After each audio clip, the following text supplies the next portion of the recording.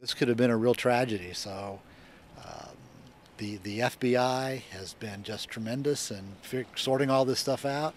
Um, and I'm proud of our employees who, who uh, saw something suspicious happening and raised it, and we were able to report it to the FBI.